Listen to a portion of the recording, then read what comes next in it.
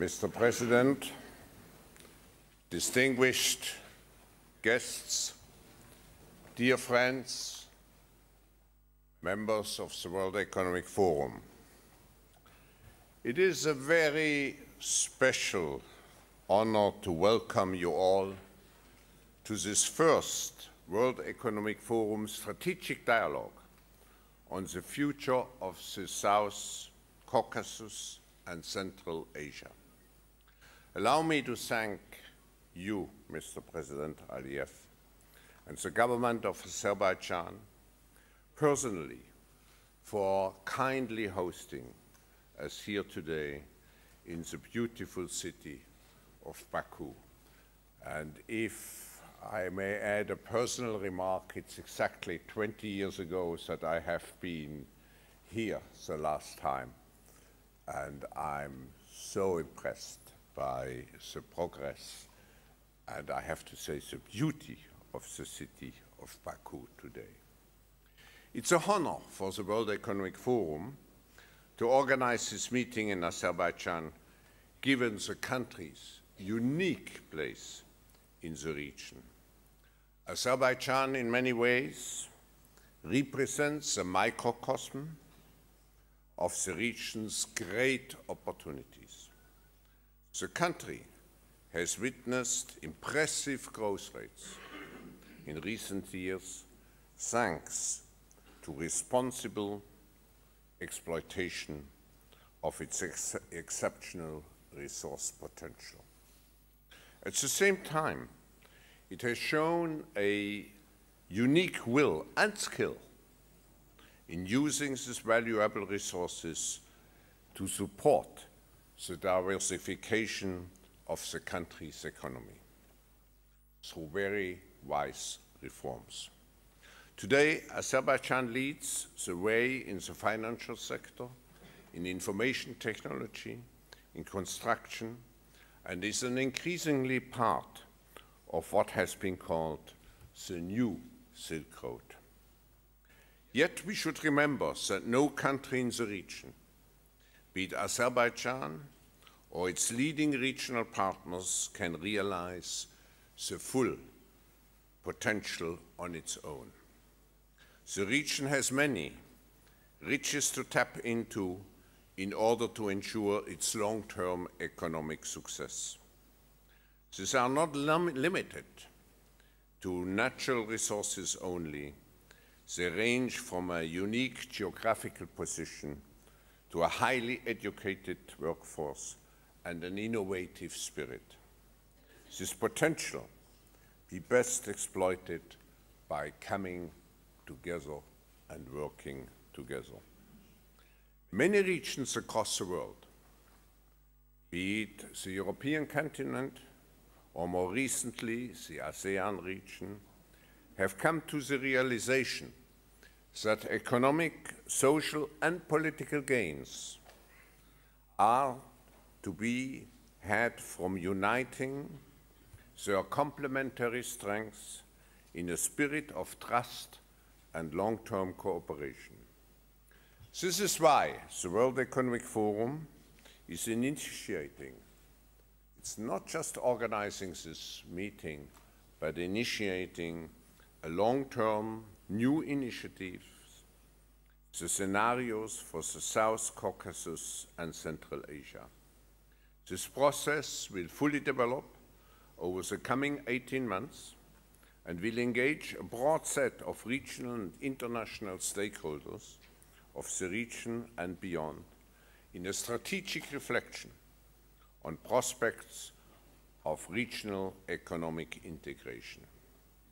It will devise scenarios for the region's long-term future to help us think creatively and robustly about the region's unique evolution potential. Today, we will start this process and we will explore critical themes for these prospects, energy and resources, natural resources, trade and supply chains, entrepreneurship and human capital, finance and long-term investing. Throughout the day, we have a chance to identify the region's unique opportunities in each of those four areas, as well as to think of the innovative steps that can be taken to further realize these opportunities in the coming years. I look forward to hearing about some of your insights and engaging you in discussions with our exceptional panel speakers here today. Let me just introduce to you our panel speakers of this opening sessions.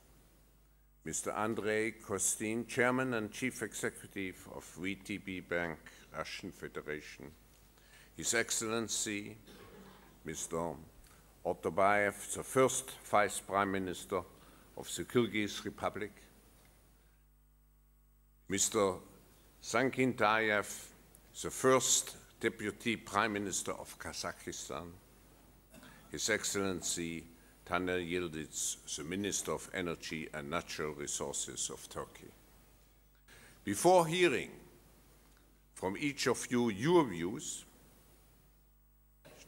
dear panelists, we will now view a, few, a brief briefing video providing context around some of today's discussion, and I will, will invite some participants to vote on, their, on three possible alterna alternatives representing possible futures for the region's economy. As you see, we will conduct the meeting today in a very interactive way. Based on his long-standing experience of the region's unique opportunities, Mr. Frederick Starr, whom I would like to thank for joining us today, will provide us with his impressions on the region's long-term potential in reaction to these voting results.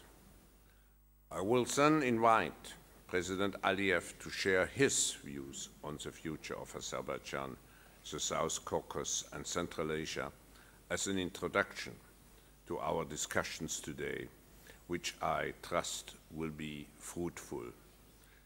Mr. President, I also want to use this opportunity to thank you particularly for your friendship and your partnership with the World Economic Forum. Having attended for seven uninterrupted years at our annual meeting, I think you have contributed substantially to place Azerbaijan and this region on the international map and to show to the global political and economic community what this region can contribute to world prosperity and possibly world cooperation and peace. I now hope that you will enjoy today's discussions. I welcome you again very cordially and now we will have an opportunity to look first at the video.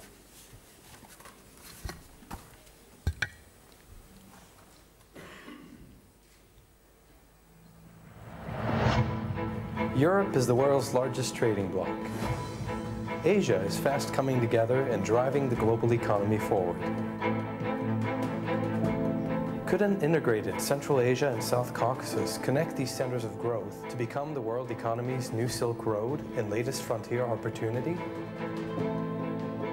The region's history as a trading route dates back to a rich cultural heritage. Today, rail transport from China to Europe is 70% cheaper and emits over 90% less carbon than air freight. Over half of businesses state that improving public infrastructure is a critical priority for development in the region and it's estimated that regional integration could result in a 100% increase in GDP per capita in just 10 years, thereby benefiting the region's valuable human capital. The region is full of untapped potential. Azerbaijan's production of natural gas has grown over 200% in eight years. Kazakhstan's Kashagan field is estimated to be one of the world's six largest untapped oil fields. and Turkmenistan has the fourth largest natural gas reserves in the world. Ever-increasing financial windfalls are providing the region with the opportunity to get onto the right track. Foreign direct investment increased ninefold between 2000 and 2009, and several countries are building capital reserves that could support long-term investment for the region's future. But much work needs to be done to establish the region as tomorrow's next frontier of growth and development. What can we do about it?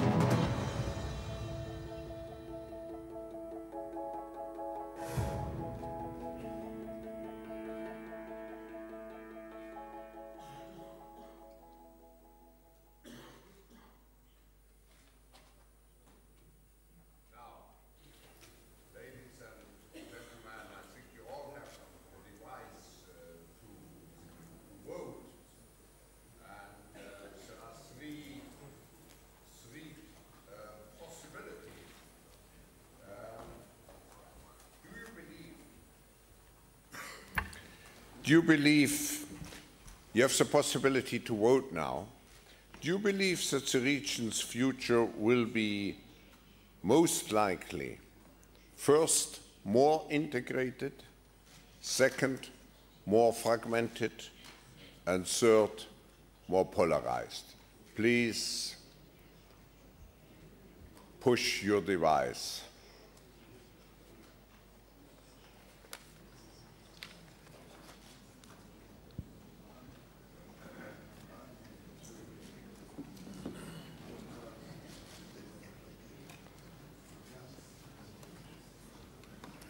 We will see the results in a moment.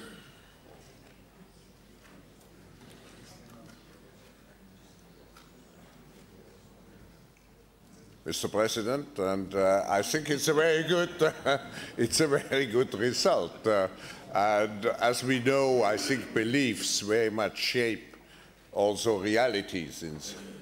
Now, uh, Professor Starr, would you would you comment on those uh, on those results, please? Very positive. What does what does integration or coordination, maybe more appropriate term, actually mean? Well, we know from the energy sector in this miraculous 15 years uh, what it means. Uh, it's energy going in every direction from, from Central Asia, from the Caspian, from the Caucasus, from this spot. Uh, but there's another factor emerging that may be in the future uh, at least as big or bigger, and that is trade and transport. And this is, this is something that seems to me absolutely worth watching, not local transport. It's not just melons from here to Georgia and pomegranates from Georgia to here. It is, it is continental trade from Hamburg to Hanoi, through the Caucasus, through Azerbaijan, through Turkmenistan, Kazakhstan, so forth, all the way to China and also across Afghanistan, Pakistan, India, uh, uh, and to India. So this is, this is something which is coming, but it's also been here in the past. A thousand years ago, currency from this region, silver dirhams, were the absolute currency of choice from Sweden to Sri Lanka. So, so that it was closed off for many hundreds of years, and the Soviet borders prevented this interaction, uh, this integration. But now, now this is open. China moved quickly after 91 to open with, the, with Europe a direct transport. And now, since 2001, it's been possible also to add the direct routes to India thanks to the opening in Afghanistan. So something very big is happening. This region right here is turning into a kind of land Suez, linking, linking parts of the continent. And, and uh, this, is, this is already not a dream, but a fact. There's over $40 billion of investments that have been made already in this, just the southern corridor.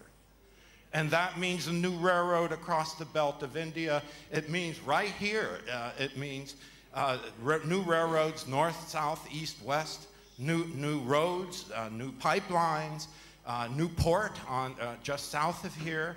Similarly, in Turkmenistan, all this is going on. Huge investments are already being made. So the question isn't whether this is going to happen, but exactly when and how. The obvious conclusion is that if you want to play a part in it in the future, the time to move is now. Thank you, Professor Starr. I think we should now, with great pleasure, listen to President Aliyev and who will share his views on the future of the region. But before doing so, I would also like to acknowledge in the audience the participation of uh, distinguished heads of states and uh, prime ministers, uh, not only from the region, but I should say interested into the region. President Aliyev, the floor is yours.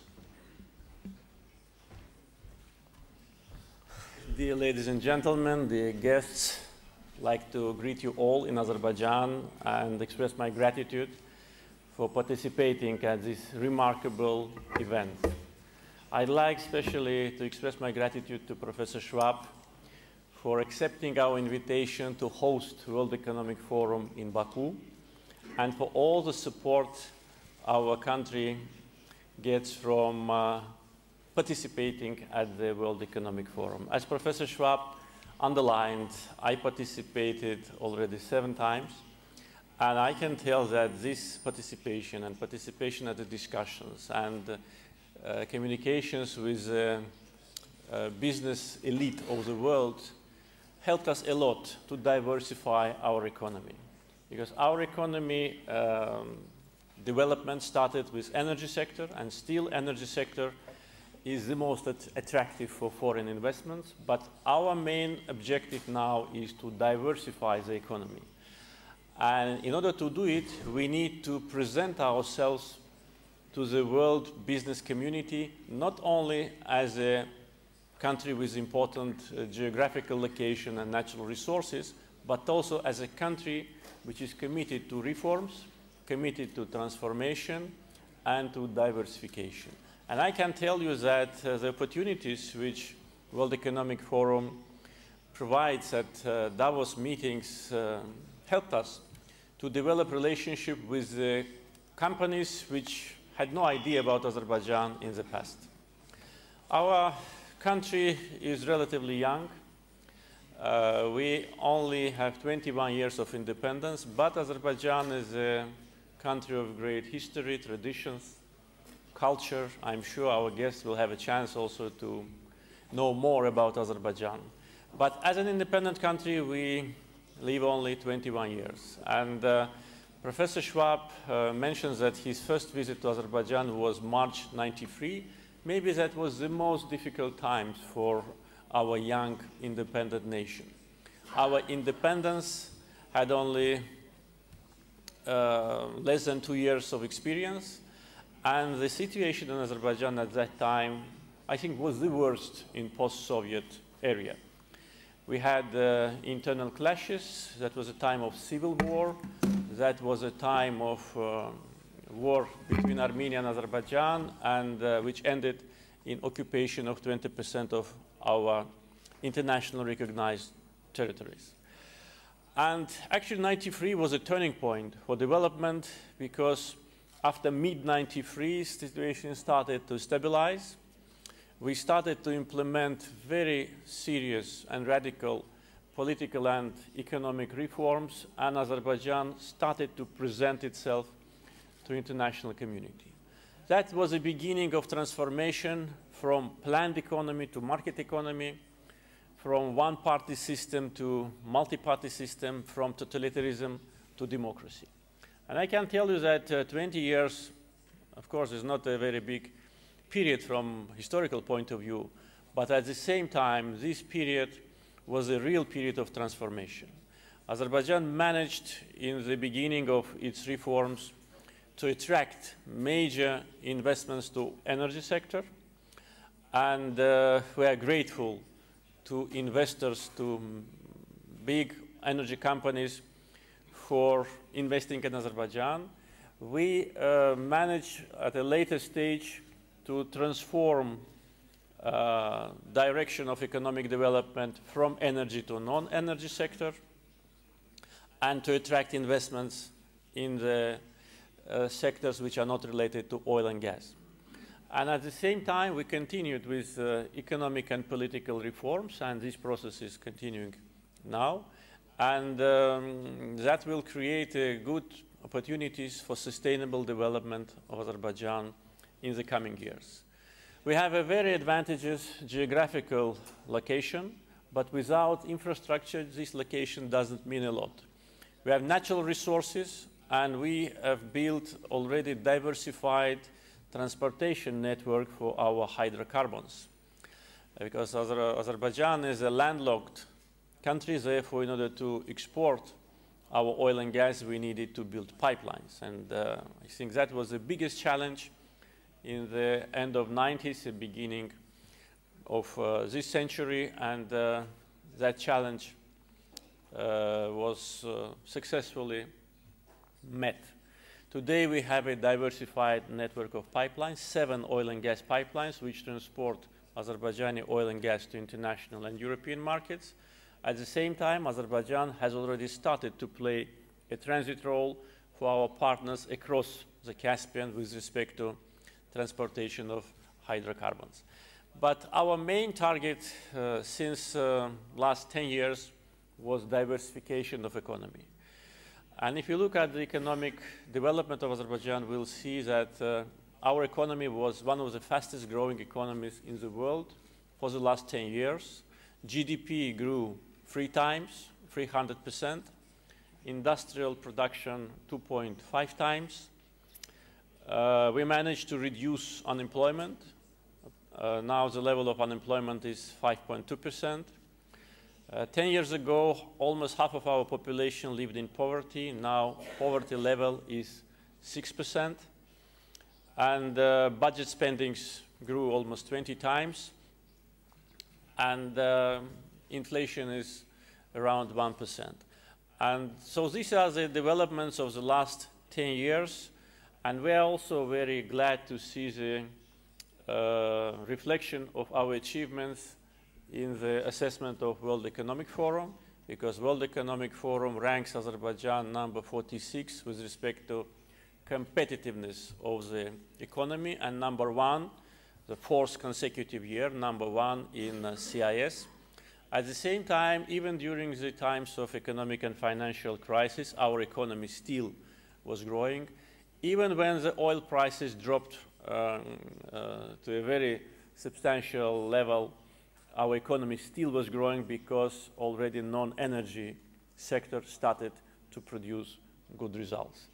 And all the major credit uh, rating agencies, Fitch, S&P, and Moody's upgraded Azerbaijan's credit ratings recently, which is also a good indication of the reforms. We are now uh, transforming the oil wealth into human capital. And one of the main targets for the future is education. Education is the most important uh, factor for any successful development of any country.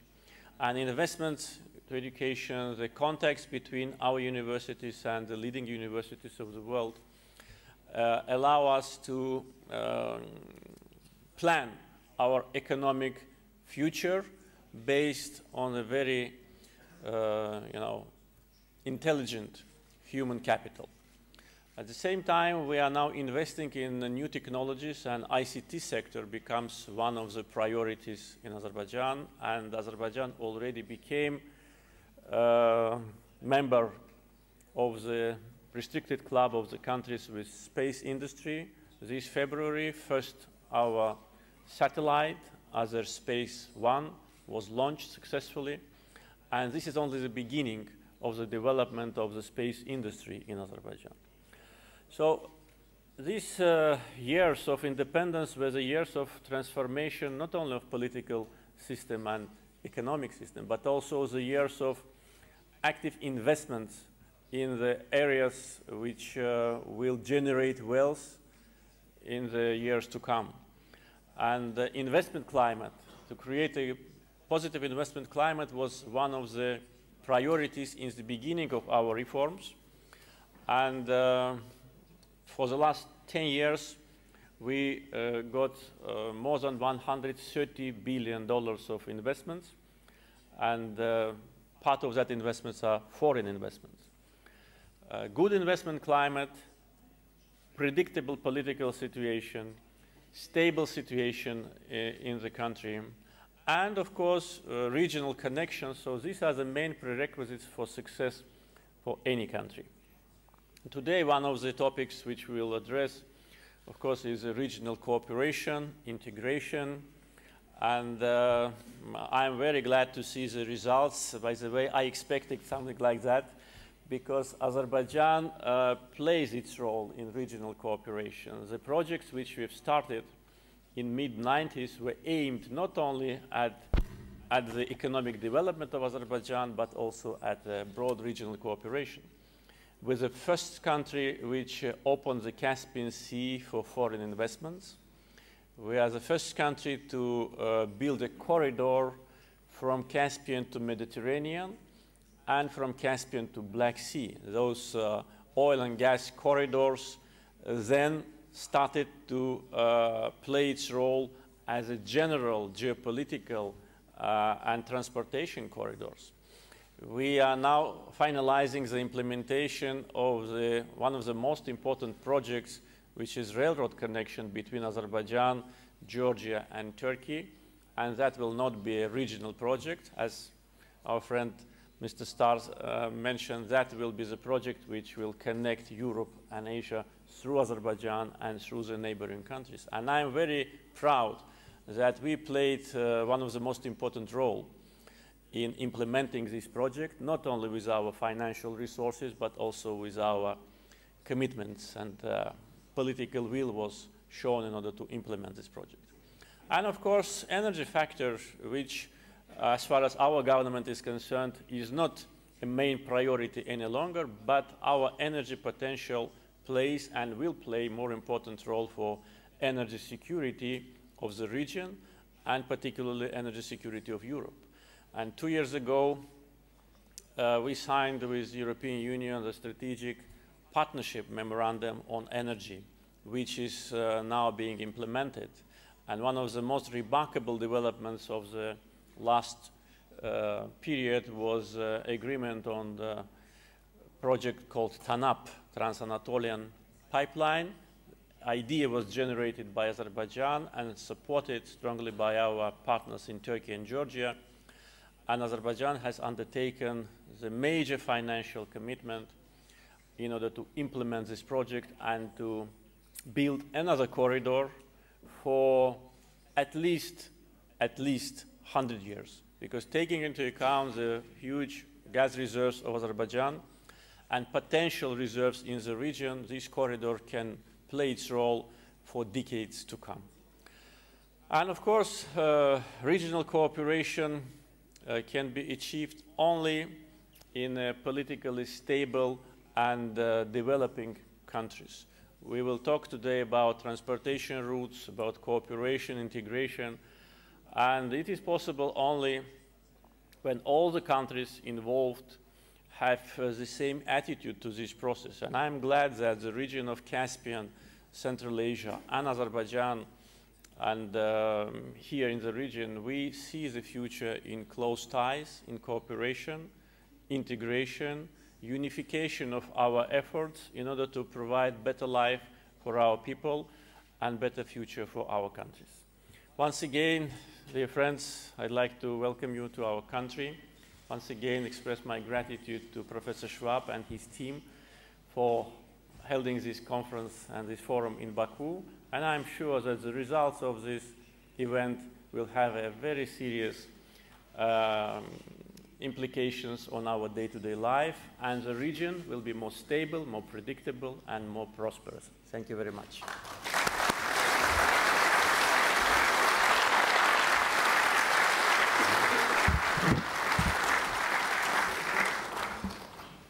Mr. President, thank you very much for presenting to us uh, those, I, I should uh, really say, those success stories, and this success didn't happen by itself. It happened through a very integrated, wise, forward-looking um, uh, vision and uh, the necessary policies to implement the vision. I have now the uh, pleasure and honor to call on the, uh, uh, the first Deputy Prime Minister um, of Kazakhstan to make his remarks.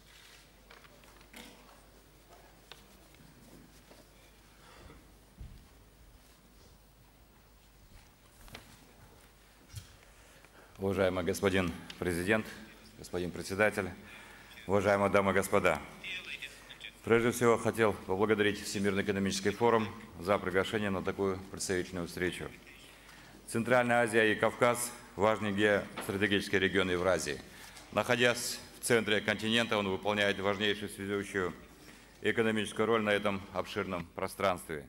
Поэтому растущий интерес в мире к его перспективам вполне закономерен. Надеемся, что сегодняшняя дискуссия станет практическим шагом к поиску новых возможностей и активизации сотрудничества между нашими странами. Прежде всего, хотел бы охарактеризовать современную экономическую ситуацию в Казахстане. За прошедшее десятилетие Казахстан сумел удвоить свой экономический потенциал. В абсолютном выражении ВВП страны вырос с 18 миллиардов долларов США в 2000 году до 200 миллиардов э, по итогам 2012 года.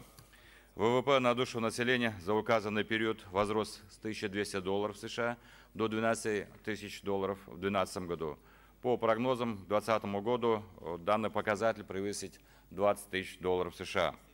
Нам удалось сохранить макроэкономическую стабильность в условиях мирового финансового кризиса и непростой экономической ситуации в ряде ведущих стран мира. В 2012 году рост экономики составил 5%. Уровень безработицы, безработицы сохраняется в последние годы на стабильном уровне, не превышающем 5,5%. По оценке специалистов, Казахстан является одним из наиболее привлекательных для инвестиций стран СНГ. С 1993 года привлечено более 160 миллиардов долларов США прямых иностранных инвестиций. По оценкам, на долю Казахстана приходится около 80% прямых иностранных инвестиций Центральноазиатского региона. Укрепляется финансовый потенциал Казахстана. Международные резервы, включая средства Национального фонда, превысили 87 миллиардов долларов США. Об успехах страны также свидетельствует рейтинг Всемирного экономического форума, по которому Казахстан занял 51 место в глобальном индексе конкурентоспособности, переместившись за год на 21 позицию в группу стран с более высоким уровнем развития. Новый этап э, мирового развития, связанный с инновациями, новейшими знаниями и технологиями, требует модернизации экономического фундамента страны. В этой связи с 2010 года реализуется государственная программа форсированного индустриально-инновационного развития, направленная на масштабную диверсификацию отечественной экономики. На сегодня запланирована реализация более 770 проектов с созданием более 200 тысяч рабочих мест – за три прошедших года уже введено в действие более 530 э, предприятий, э, позволивших наладить выпуск абсолютно новых производств в стране, модернизировать инфраструктуру. Для поддержки программы функционирует 9 свободно-экономических зон, технопарки, индустриальные парки, предусмотрены различные финансовые и нефинансовые меры поддержки бизнеса. В этой связи приглашаем государства региона к сотрудничеству и кооперации между нашими компаниями и предприятиями. С учетом стратегической задачи, поставленной президентом Назарбаевым по вхождению Казахстана в тридцатку развитых стран мира к 2050 году, начинается работа по модернизации и трансформации экономики Казахстана к параметрам, характерным для этой группы стран, к стандартам лучшей международной практики. Первым практическим шагом станет переход к принципам зеленой экономики. Устойчивое развитие невозможно без бережного отношения к окружающей среде и природным ресурсам. Поэтому не случайен выбор Астаны местом проведения международной выставки «Экспо-2017», основной тематикой которой определена «Энергия будущего». Это позволит привлечь передовые мировые технологии и зеленые решения в экономику нашей страны. Переходя ко второй части своего выступления, я хотел бы остановиться на некоторых перспективных направлениях сотрудничества со странами Центральной Азии и Кавказа. По ряду направлений уже наметились определенные заделы, но в целом остается еще значительный потенциал для расширения взаимодействия и реализации деловых инициатив. Во-первых, учитывая географическое расположение на стыке Европы и Азии, имеется значительный транспортно-логистический потенциал. Издревле наш регион лежал на историческом шелковом пути с востока на запад. Именно по этой территории на протяжении столетий проходили стратегически важные грузы из Китая и Индии в Европу. Поэтому Казахстан серьезно активизировал работу по восстановлению прежних транзитных функций моста между Востоком и Западом. В этих целях реализуется ряд важных проектов по направлению Запад, Восток, Север, Юг. Это трансконтинентальные проекты, которые открывают для Казахстана и других государств Центральной Азии, Кавказа, не имеющих выхода к морю, и расположенных в удалении от международных рынков новые возможности для роста торговли и экономического взаимообмена. В частности, мы осуществляем строительство международной автомагистрали Западная Европа, Западный Китай. На востоке страны реализуется проект «Харгос. Восточные ворота», направленный на повышение торговых связей с быстро растущим регионом Юго-Восточной Азии, а также Китая. На Каспии на базе порта Ахтау реализуется проект «Западные ворота Казахстана». Реализацией таких проектов многие географические барьеры могут быть решены. Это большое поле для совместной деятельности стран региона. Во-вторых, огромный потенциал имеется в сельскохозяйственном секторе. На сегодня Казахстан является одним из важных зерновых центров мира и вторым в мире экспортером муки. С учетом наблюдающихся глобальных демографических процессов и структуры населения в Казахстане уже предприняты системные шаги по расширению продовольственной базы. А, в рамках программы развития АПК до 2020 года запланированы меры по увеличению производства экологически чистой хозяйственной продукции. На эти цели запланировано более 20 миллиардов долларов США до 2020 года. Казахстан также готов к самой тесной кооперации по этому направлению. В-третьих, недостаточно реализованным остается потенциал в сфере торговли. Так, товарооборот с государствами Центральной Азии и Кавказа в 2012 году по оценкам составил 4,7 миллиардов долларов США – увеличившись по сравнению с 2011 годом на 27%. Но это составляет всего 4,2% от внешнеторгового оборота Казахстана в целом. При этом торговля со странами Кавказа составляет всего лишь 0,4% от общего внешнего а, торгового оборота страны. Как видим, потенциал большой, можно активизировать обмен торговыми миссиями, проведение региональных бизнес-форумов, выработку межправительственных решений. В целом, с учетом сказанного, имеется значительный потенциал и общие интересы, поэтому нам есть над чем подумать. Отдельно хотел бы проинформировать вас, что 22 мая в Казахстане состоится очередной шестой Астанинский экономический форум. Целью его проведения является поиск решений на актуальные международные и региональные проблемы, с, которым, с которыми сталкиваются многие государства мира. Ключевым событием шестого Астанинского форума станет Всемирный, Всемирная антикризисная конференция под эгидой ООН. Пользуясь случаем, имеем честь пригласить всех участников сегодняшней встречи на Астанинский экономический форум. В завершение хотел бы пожелать превосходно э, организованного Бакинского форума платформной работы. Благодарю за внимание.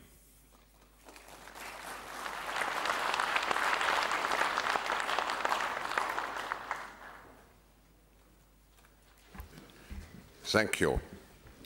I now call on my friend uh, Kostin uh, to comment on the situation and I would say as a neighbor and part of the region. Thank you very much, Professor Schwab. Ladies and gentlemen, I think as the one of the leading integration group, European Union is sinking deeper and deeper into the troubled waters of economic and financial crisis, the more we're looking, and the global business is looking for more opportunities and for the new areas of economic growth. And definitely, South Caucasus and Central Asia region represent one of such area. As Mr. President Aliyev mentioned, over the last 10 years, uh, Azerbaijan, for example, uh, achieved remarkable growth. And um, the result of economic um, development of Azerbaijan is extremely impressive. I think Mr. President gave a very interesting picture and comprehensive picture of this growth. I would like to congratulate him on such a great achievements during his uh, tenure as a president. But also, there's other countries, as my colleague from Kazakhstan just mentioned, who are doing extremely well, and of course, to a very big extent, uh, to the fact that those countries in the region who possess uh, a quite a rich uh, gas and oil resources and other mineral resources, of course, they might be doing uh, maybe better than other countries in the region. Though I think we all understand that the era of gas and oil is not forever, all should be prepared for a much more competitive market from other countries which uh, might offer some alternative uh, sources of energy. Uh, of course, the region represents, as I, as I, mentioned, one of the greatest opportunity for the growth. But I also would like to mention that, of course, the, one of the greatest challenge for the region, I think there's uh, security issues. Uh, of course, the region is uh, very complicated from political um, and military point of view. Uh, you know, there's neighboring countries like Afghanistan, like Iran, uh, there is a threat of terrorism, there is a threat of Islamic radicalism, there is a problem of drug trafficking, uh, there is a, um, a, problem of political stability and transition of power in many countries of the region which pose this uh, security risk for the region. And I think this one should be uh, tackled very seriously if we want uh, or if we would like to have a much uh, more prosperous uh, region. But there's also the area of uh, mutual cooperation. I would like just to mention some of the areas. Uh, one of them is uh, coordination uh, of the energy exporters' uh, strategies. As I mentioned that uh, each country is trying to benefit from uh, oil proceeds, and Azerbaijan, I think, is, is doing extremely well and have a very practical approach to this issue. But also to rationalize the policy of energy export um, among the countries uh, of region, I think one of the uh, important tasks. The second, as my colleague already mentioned here, is the uh, transport logistic and uh, to create really the global transport corridors which will give a, an extremely uh, big boost to the economies uh, of the regions. And also, I think the inter-region um, uh, cooperation on trade and um, uh, investment. My colleague from Kazakhstan mentioned the figure on, on uh, Kazakhstan. I can say that for Russia, uh, the region represents only 5% of the foreign trade and most of these, more, more than half of these, uh, actually represent our trade with Kazakhstan. Definitely that is not the level which Russia, for example, would like uh, to see. Um, the Russian role. Russia is not trying to recreate the empire as probably some of my American colleagues uh, would like to posit. Uh, we think that uh, it is impossible. Uh, never in Russia can seriously uh, speak about this nowadays. But of course, the countries of the region which we are discussing now, they all were part of the Soviet Union only 20 years ago. And uh, Russia definitely has a, a, vested interest in the region for a number of reasons. We are, of course, have the problem of radical uh, Islamic radicalism. We have the problem of uh, drug trafficking coming either from the region or through the region from Afghanistan.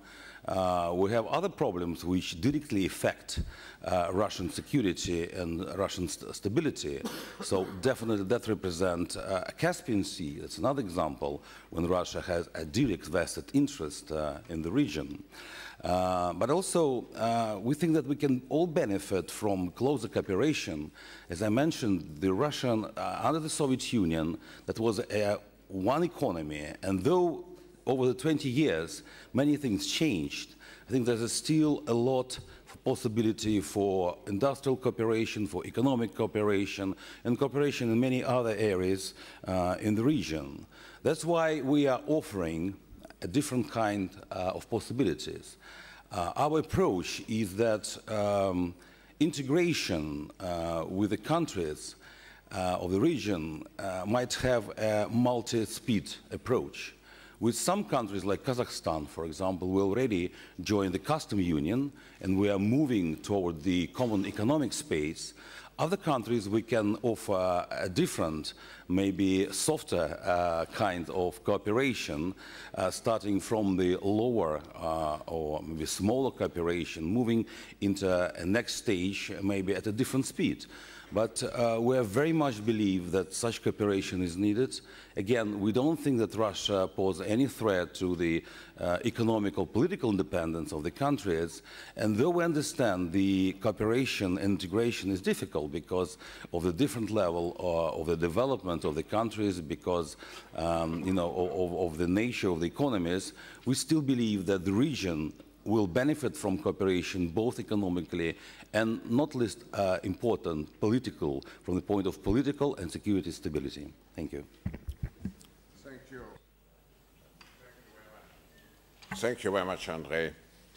Um, now I ask uh, Deputy First Deputy Prime Minister Otorbaev from the Kyrgyz Republic to address us.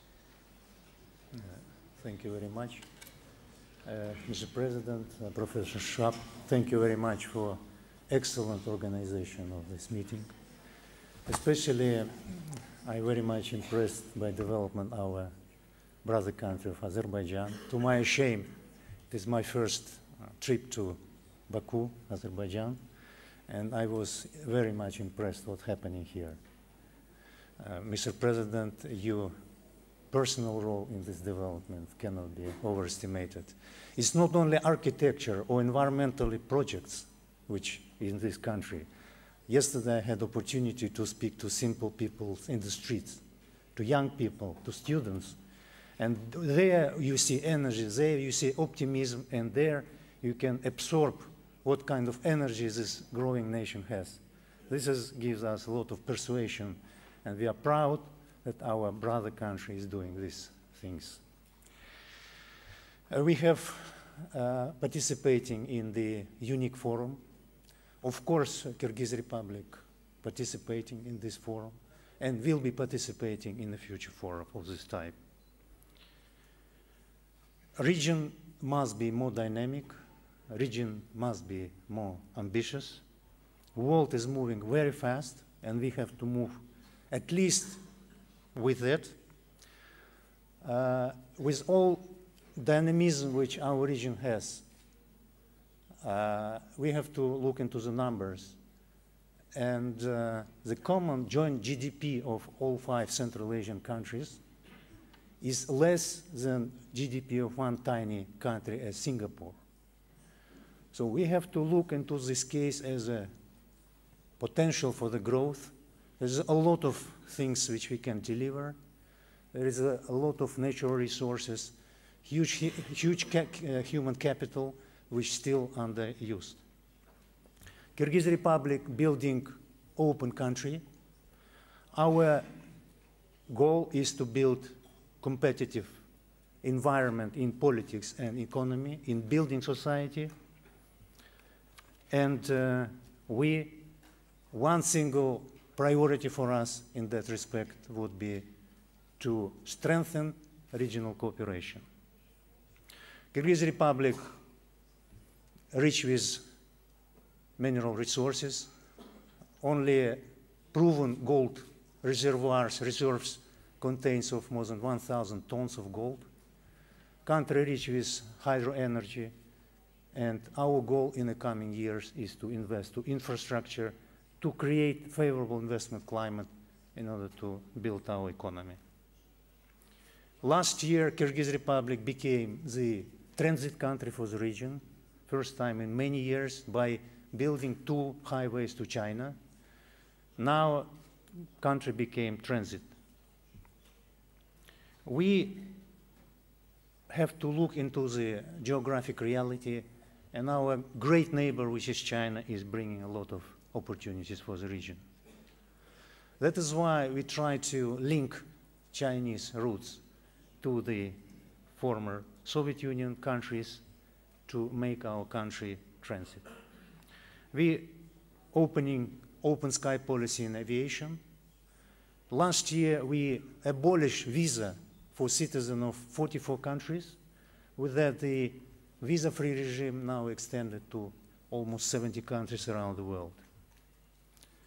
In a division of labor in the region, Kyrgyz Republic de facto became the trade hub of Central Asia. The only direct import from China to Kyrgyzstan consists of $10 billion, which is more than country's GDP, which is a unique situation. That is why we are already feeling the benefits of regional trade. We will be entering customs union with Kazakhstan, Russia, and Belarus. With that, goods produced in Kyrgyzstan will get access to a much bigger and much stronger market.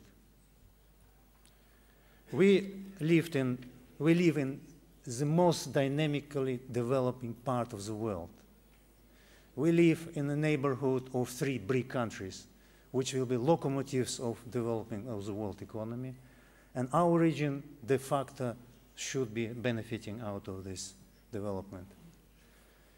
However, regional cooperation should be indeed, how, as President Aliyev mentioned today, should be the priority for development of our region. If Marco Polo would be traveling this, these days through the region, he would be slower than in his years. We have difficult borders, we have problems with uh, documentation, and this is, of course, not natural. Uh, we cannot stand without development, and we will develop it. Let's do it together. Thank you.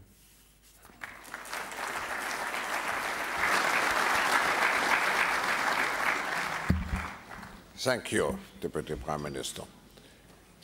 I now call on Minister Yildiz, the Minister of Energy and Natural Resources of Turkey.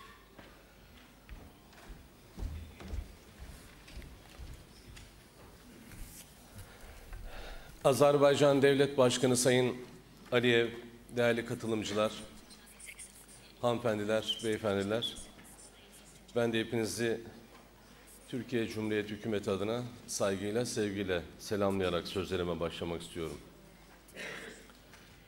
Öncelikle hürmetli Prezidentin ve Sayın Şivap'ın bu organizasyonu için, misafirperverlikleri için teşekkür ediyorum. Bakü'ye yakışır, Azerbaycan'a yakışır bir organizasyon gerçekleşmiş. Tabii önemli bir işbirlikleri fırsatlarını konuşuyoruz. Uluslararası ilişkilerden arındırılamayacak kadar olan büyük projelerin bir genel analizini yapmak ihtiyacı vardır. Ekonomiler globalleşiyor ama politikalar ulusallaşıyor. Ülkeler ulusallaşan politikalarını bir araya getirdiği kadar işbirlikleri yapabiliyorlar. Ve global krizin enerji sektörüyle alakalı çok tabii sonuçları var. Bunlardan bir tanesi o ülkeler içerisindeki subvansiyonlar, enerji sektörünün subvanse edilmesiyle alakalı rakamlar gittikçe küçülüyor. Bu aynı zamanda Türkiye Cumhuriyeti gibi büyürken değişen, hatta değişirken büyümeye çalışan ülkeler için son derece daha önemli oluyor. Türkiye son 10 yıl içerisinde gayri safi yurt içi hasılasını 3 katına çıkarttı. Enerji sektörüyle alakalı yapılanmasını tam 2 katına çıkarttı. Ve doğru yaptığı kadar güçlendi. Her ülke için geçerli olan bu kaydı kendisine uyguladı. Ve birçok ülkeyle birçok projeyi geliştirme imkanına sahip oldu. O yüzden siyasi istikrarını sürdürülebilir hale getiren ülkelerle beraber bölge güçleniyor. Ve enerjiyi barışın gerekçesi olarak kullandığımız kadar ilerleyebiliyoruz.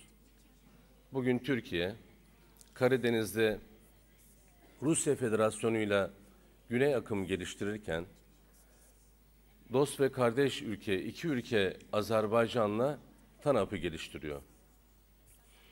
Siyasi yorumlardan uzak bir şekilde İran'la doğal gaz anlaşması yapıyor ve Irak'la da petrol ve doğal gazla alakalı işbirliğini sürdürüyor.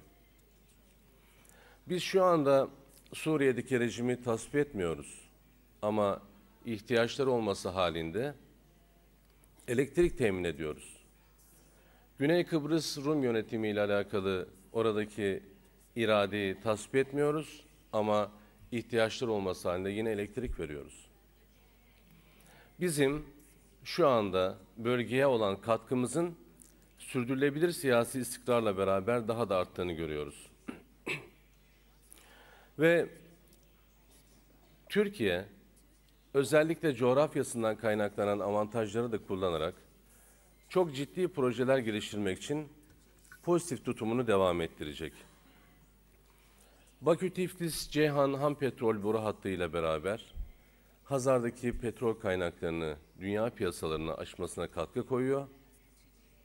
Ve Sayın Başkan'ın bahsettiği gibi demir yolu projesiyle beraber de ulaşımın bir garantisi haline geliyor. Bizler tüketim noktaları olan Avrupa ile üretim noktaları olan Asya arasında ciddi bir köprüyüz. Hiçbir şekilde coğrafyasından kaynaklanan bu avantajları istismar etmeden Türkiye, bütün pozitif tutumlarıyla beraber bölgenin kalkınmasına katkı koymaya devam edecek. Ve Türkiye bu değişimi yaşarken 2023 yılı, 2030 yılı hedeflerini de son derece gerçekçi görüyor. Bir yandan yenilenebilir enerji kaynaklarıyla kendi ihtiyaçlarını karşılamaya gayret ederken, dünyanın Uluslararası Enerji Ajansı'nın verilerine göre hala üç temel yakıt olan petrol, doğal gaz ve kömürle alakalı da tedariklerine devam ediyor. Bir ülkenin üretici ülkelerde özellikle enerji sektöründen diğer sektörlere sermaye kayarken Türkiye'de bu yerli kaynaklara sahip olmayan, petrol ve doğal gaz kaynaklarına sahip olmayan Türkiye'de ise diğer sektörlerden enerji sektörüne finansman kayıyor. Ülkelerin özellikle içinde bulunduğumuz coğrafyada büyüme hedefleri o ülkenin geliştirdiği tasarruf miktarlarından daha büyük. Yani iç sermayeden daha ziyade uluslararası sermayenin gerekliği bu açıdan önemli. Uluslararası sermaye her zaman olduğu gibi istikrarı sever, zemini sağlam ülkeleri sever, hukuku sağlam ülkeleri sever. O yüzden Türkiye bütün bu dengeleri, bütün bu yapılanmaları dikkat alarak büyümesine devam ediyor. Bizler Dünya Ekonomik Forumu'nun İstanbul bacağı için bütün konuklarımızı davet ediyoruz. Bütün bu salonda bulunan arkadaşlarımızı davet ediyoruz. Ve ben ev sahipliğinden dolayı Sayın Hürmetli Prezident Aliyev başta olmak üzere bütün katılımcılara teşekkür ediyorum.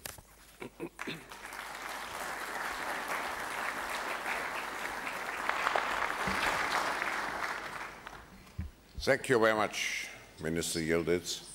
Now let's uh, hear from the audience, and um, I may call first on Professor uh, Victor Halberstadt, who has been a long-term advisor of many companies and uh, governments.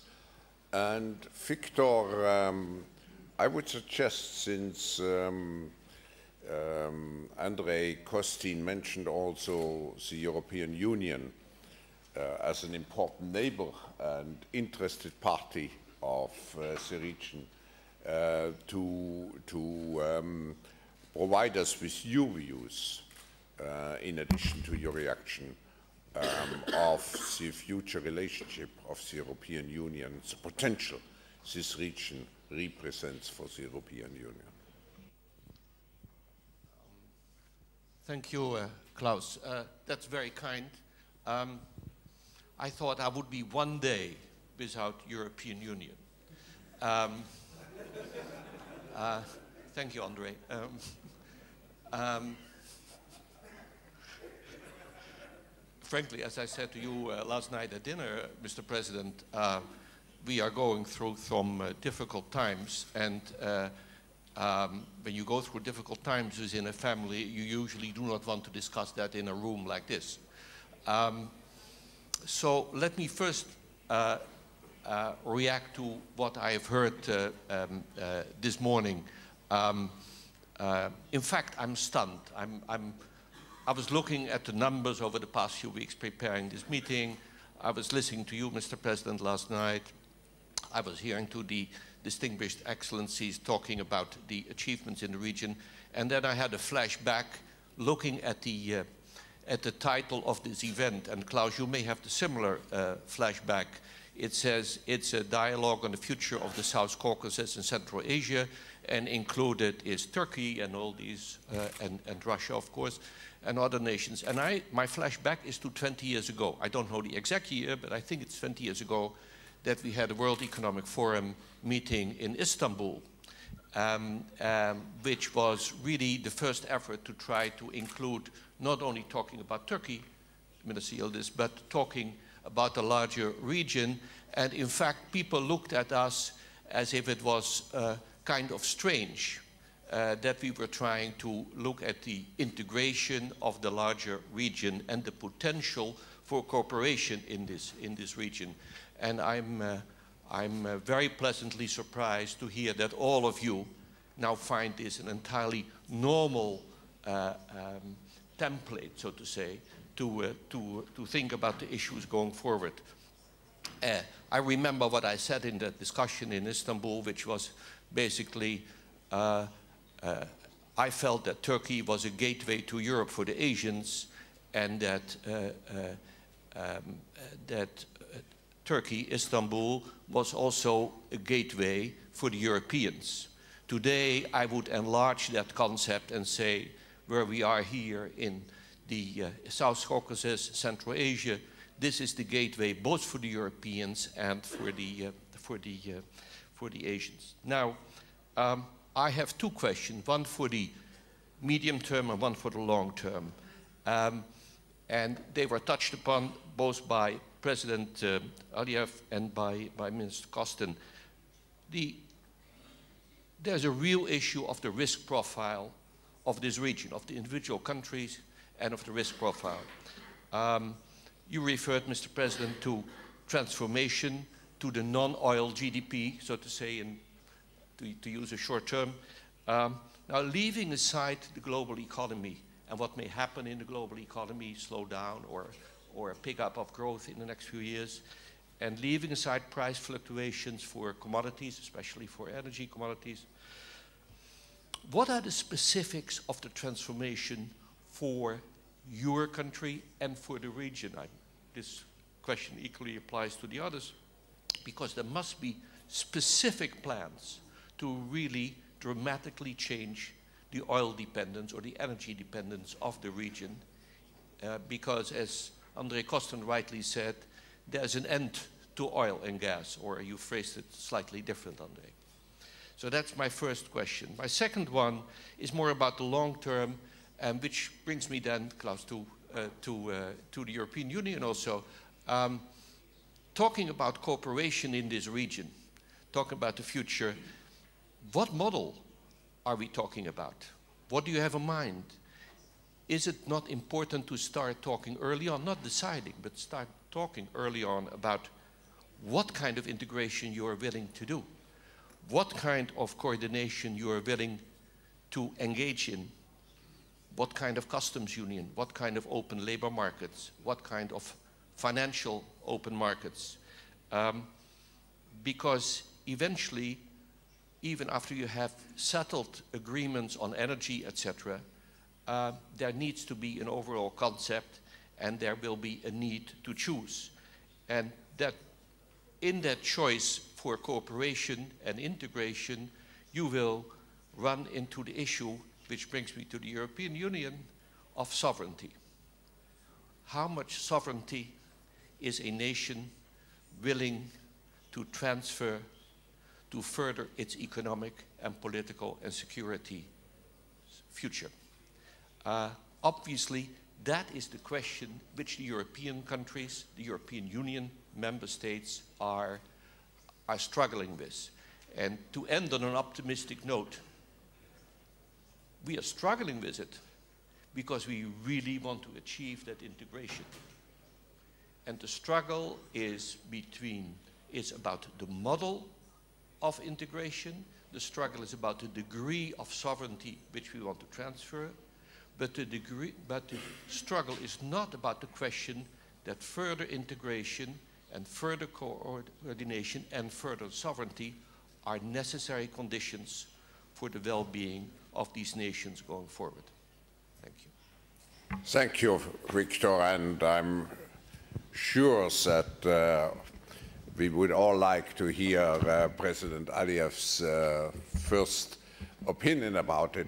Just coming back to Europe, um, um, I, I, published just three months ago a small booklet uh, which is entitled The Renaissance of Europe. So you may see my own, um, let's say, uh, opinion about the future of Europe. You may download it. I'm, I'm not going into it. Uh, I think we are all interested now to hear the president to answer the questions of uh, Victor Halberstadt but you may download it from, our, from um, the World Economic Forum's website. Mr. President. I'd like to say once again that for our government, diversification is a number one priority for at least last 10 years. Because in the beginning of independence, in order to attract investments, we needed to present our energy potential. We needed to create uh, very preferable conditions for investors to feel themselves comfortably in Azerbaijan. But we clearly realize that only uh, energy sector development will not allow us to transform and will not uh, create uh, you know, jobs, and because energy sector does not create a lot of jobs, and will not allow us to reduce the gap between the rich and the poor. Therefore, we adopted two regional development programs in 2004 and in 2009, the main objective of which was diversification and investments in infrastructure and stimulation of the private sector. Of course, the regulations, the liberal reforms, and uh, investment climate helped us to achieve this uh, goal. And I can tell you that uh, one of the uh, best statistic data about Azerbaijan is reduction of poverty, reduction of unemployment, and increase of the non-energy sector, which we had last year, for instance, close to 10% growth.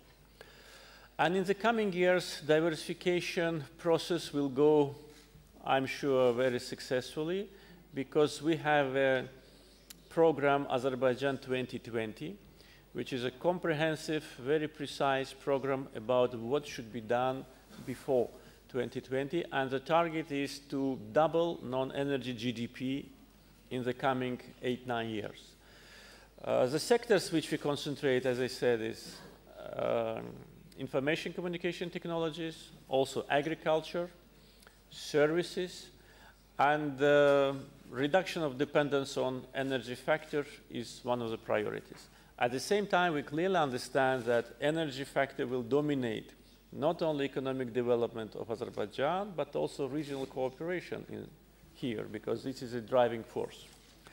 Coming to second point with respect to integration and uh, how it correlates with sovereignty, of course, at this panel we have representatives of the countries which have uh, their own choice of development. We have of course, European Union as an example of integration.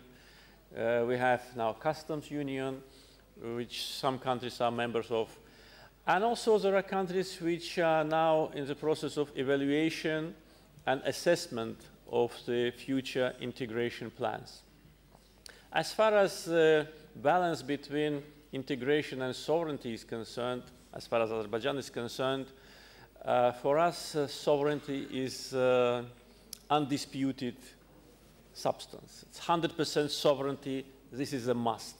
And probably this comes from our past because for centuries Azerbaijan was part of empires, countries, and only 21 years of independence. Therefore, for us, independence, political and economic, is a prerequisite for future development. And look at the, today's Azerbaijan and Azerbaijan, which was, say, 30, 40, or 50 years ago. It's day and night. Therefore, independence brought not only the feeling of national dignity and pride, but also day-to-day -day improvement in the living conditions of the country. But that does not mean that we would prefer just to observe what's happening around us. No, we are participating actively in the regional cooperation projects. We initiate most of the regional cooperation projects and we see the benefits. Therefore, I think there are the boundaries for cooperation which do not cross these boundaries towards reduction of sovereignty or granting part of your economic sovereignty to some uh, unions or some structures which are above, you know, the state level. And I think that we managed to find a proper balance between regional cooperation, integration, and, of course, sovereignty and protecting our own choice.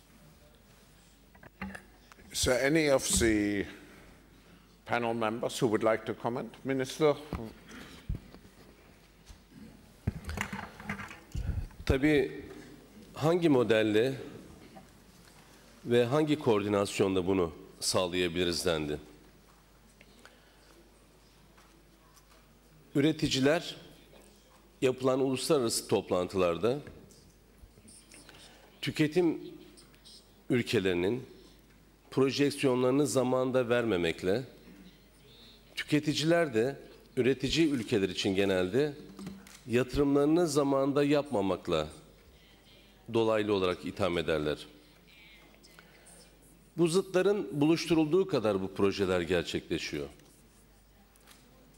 Nasıl hayatın yanında ölüm var, ölüm olduğu için hayat değerli ise tüketiciler ve üreticiler birbirinin gerekçesi oluyorlar. Türkiye bunu kavradığı ve bunu bildiği için bu iki yapıyı birleştirmede pozitif tutumunu devam ettiriyor.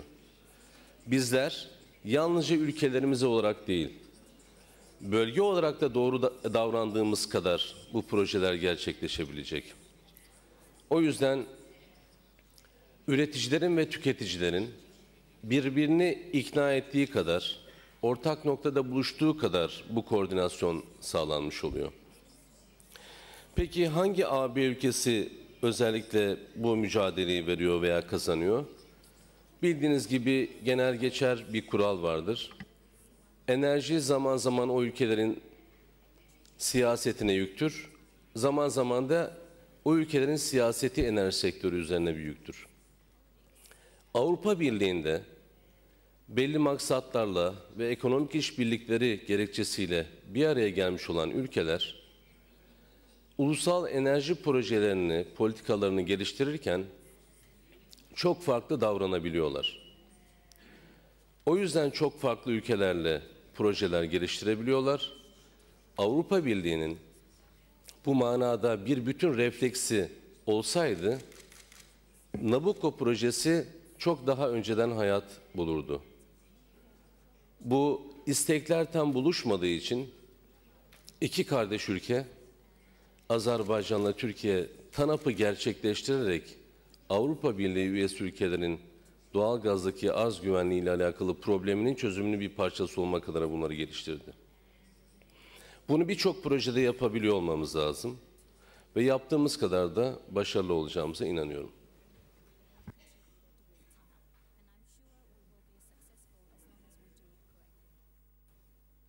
Andre, you wanted to comment? Just a few words, I think, uh, on uh, policy of oil proceeds and diversification. I think Azerbaijan has a very reasonable approach. You know, there are some countries in the world who are just saving for next generations. I don't think that was so pessimistic approach. It means that we believe that future generations will be living much worse than us.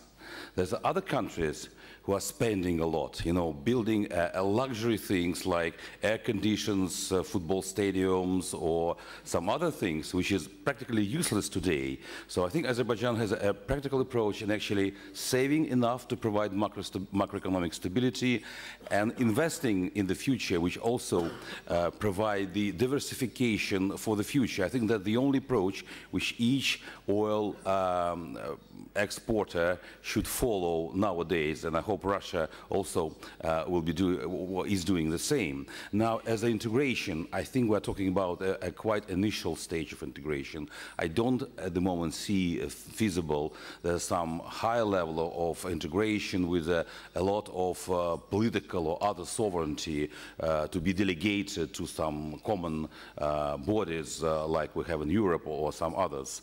Uh, so, but we were talking about, about the certain initial stage about particularly um, more integration in trade, uh, in investment, uh, maybe in financial sector. That's, I think, which is uh, needed uh, for, for the region. Thank you. Thank you. I, I would like to, to, to, follow up this question of sovereignty and um, interdependence and necessary structures to, to, to govern interdependence. Uh, Deputy Prime Minister. Спасибо. Ну, а, опять же, наверное, там из двух частей диверсификация интеграция, поэтому я начну с диверсификации. Я в своем выступлении говорил, э, насколько важна для нашей страны диверсификация, и э, преднамеренно ушел от темы нефтянки. Да? Ну, вы сами прекрасно понимаете, что Казахстан очень богат нефтяными ресурсами, а, и тем более а, в скором времени начинается добыча на Кашагане, и эта доля будет еще больше увеличиваться. И поэтому для нас очень важная тема диверсификации. А, поэтому э, вот э, господин Косин сейчас говорил о накоплении. Казахстан тоже, я в своем выступлении, Казахстан тоже накапливает, но в то же время накапливая, мы направляем свои э, средства именно на те проекты, которые сегодня необходимы именно для диверсификации. Во время кризиса 8-9 годов мы вложили в банковский сектор 10 миллиардов долларов для того, чтобы их вытащить, потому что фондирование банков со стороны европейских банков уже отсутствовало. И надо было поддерживать экономику, надо было вытаскивать, и а, надо было вкладывать в экономику. И эта процедура сейчас продолжается. В этой связи мы, помимо того, что я говорил о том, что мы приняли программу индустриализации экономики, сейчас работает программа поддержки малого и среднего бизнеса до 2020 года. То есть, а, как только перестали поступать дешевые деньги, ну, я, наверное, думаю, что это характерно для всех стран СНГ, финансирование для кредитования для бизнеса очень э, дорогое, и мы начали субсидировать малый и средний бизнес и до того уровня, чтобы они могли вкладывать э, в экономику. И поэтому э, здесь в этом вопросе мы э, движемся, на наш взгляд, что мы на правильном пути. Ну, касательно, ну, вторая часть интеграция или суверенитет, ну, надо понимать, наверное, когда мы говорим об интеграции, мы сразу же повышаем вопрос, а сколько мы суверенитета, наверное, теряем. Да? Ну, поэтому или мы тогда не говорим, что это интеграция, и поэтому сейчас вот был вопрос относительно таможенного союза, да, Казахстан находится в таможенном союзе, и мы говорим о том, что мы не являемся, а, не идем к союзу, мы идем к экономическому пространству. А только по прошлому году Казахстан, например, никогда не производил электронику и в таком большом количестве никуда не поставлял. Вы знаете, там территория огромная, а рынок очень маленький. Простой пример, только по прошлому году а, мы в Россию поставили 300 тысяч телевизоров. Вот такого у нас еще не было. То есть э, рынок открылся для нас, и мы начали поднимать уже те отрасли, которые э, не характерны для, было для Казахстана. Поэтому мы именно приверженцы такого рода интеграции, и мы не считаем, что когда вот таким образом мы интегрируемся, мы что-то теряем. Наверное, там где-то что-то есть, но мы больше, наверное, приобретаем. Спасибо. Deputy Prime Minister Otorbaev. Uh, just uh, little remarks about uh, integration, sovereignty, uh, as well as uh, way forward.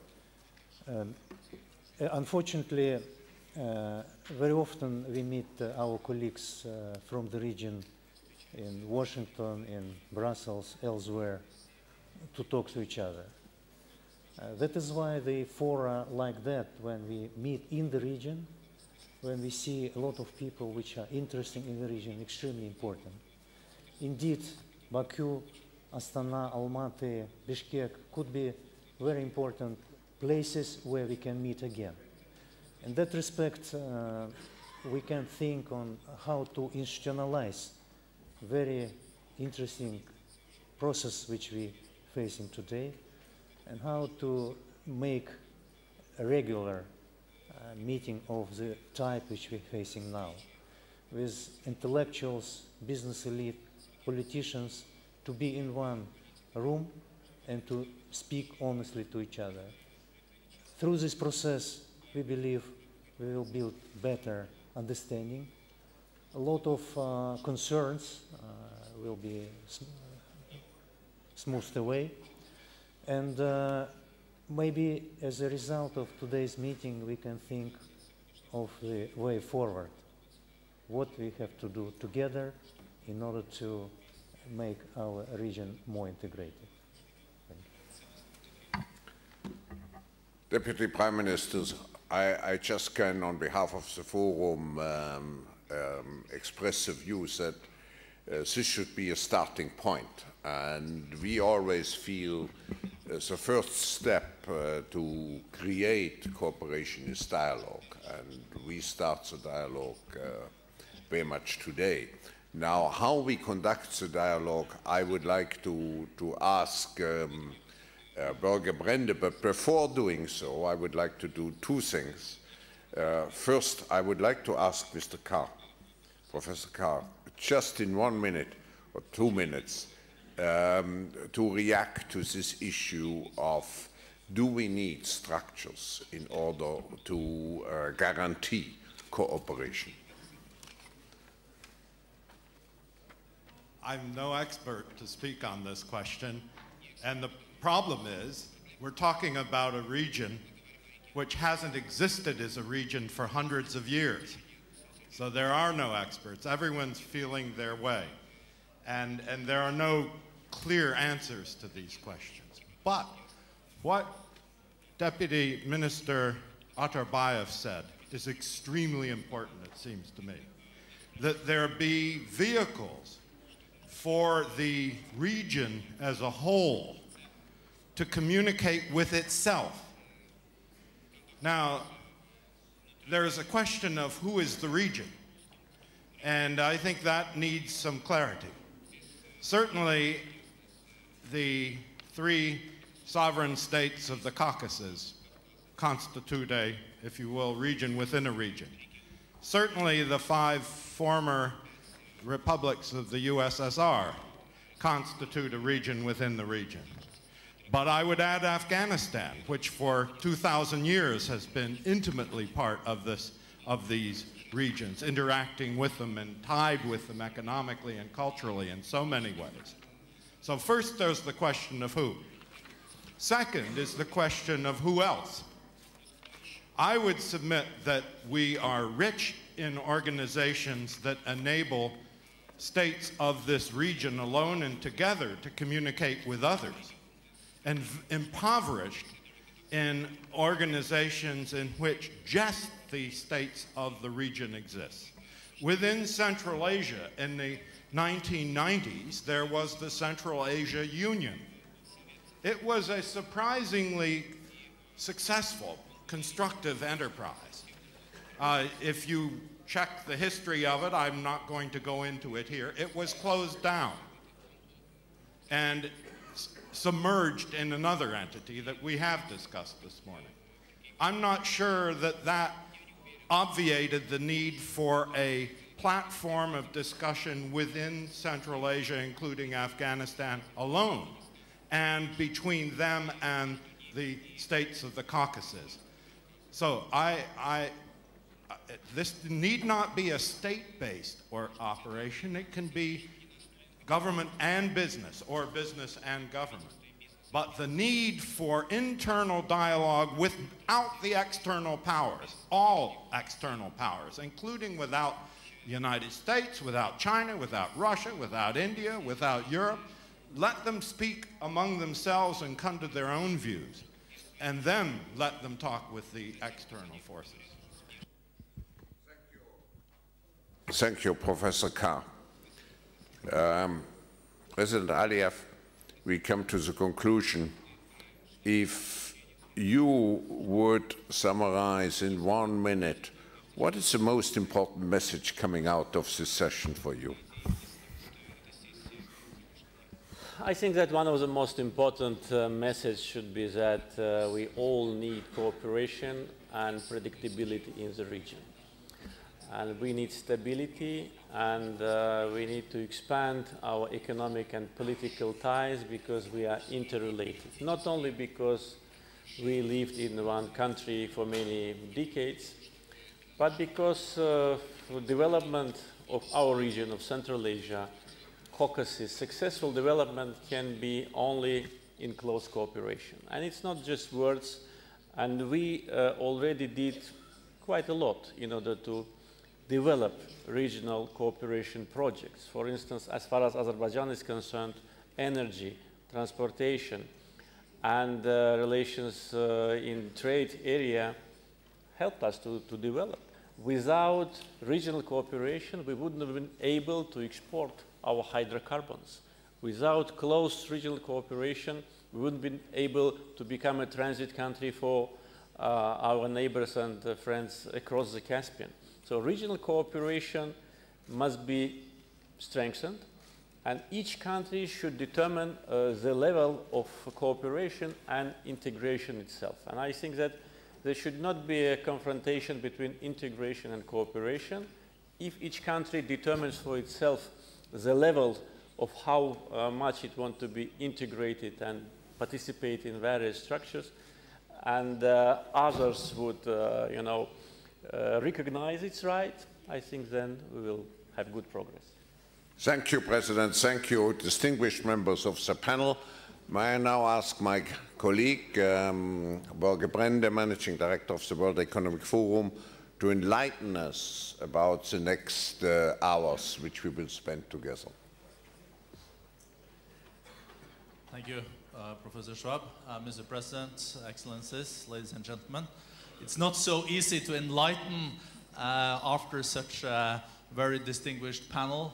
Um, also then sharing uh, directions and also offering visions for enhanced economic cooperation in such a very important region.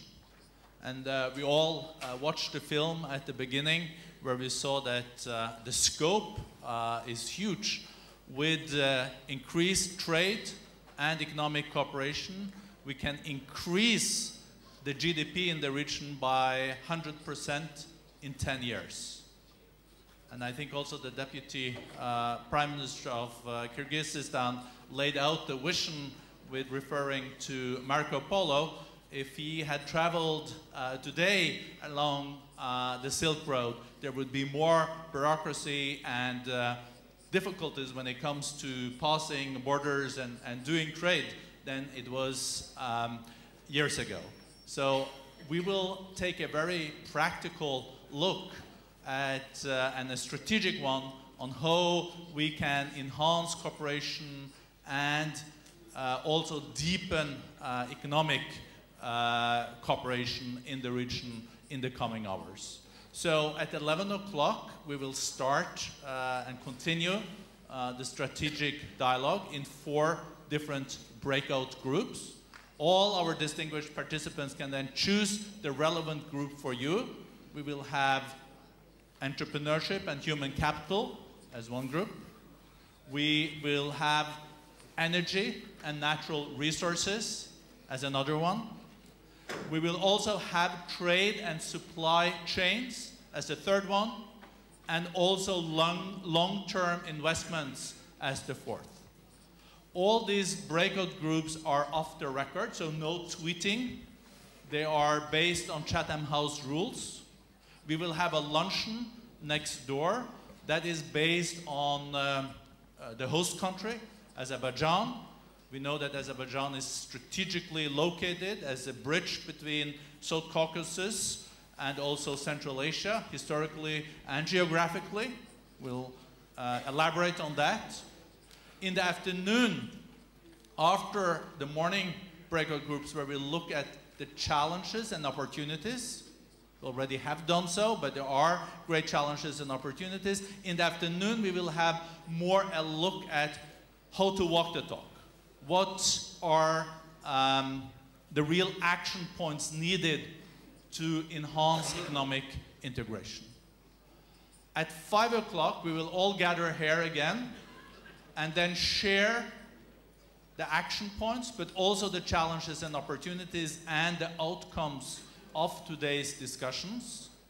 And later on, we will have a dinner uh, with the presence, uh, in the presence of, of the president and all uh, the public figures, prime ministers, uh, uh, vice prime ministers, and, and, and ministers, where we will then elaborate and also look how can we make sure that this is a real start of a real process. Because what the World Economic Forum is inviting to her is to develop real scenarios until 2030 when it comes to making sure that we see this integration uh, and enhanced cooperation taking place uh, in the region. So we'll all have a very exciting day. It's going to be hard work, but uh, I think uh, also the prize uh, is there. It is increased uh, collaboration and economic growth and prosperity in the region. So a lot is at stake. Thank you.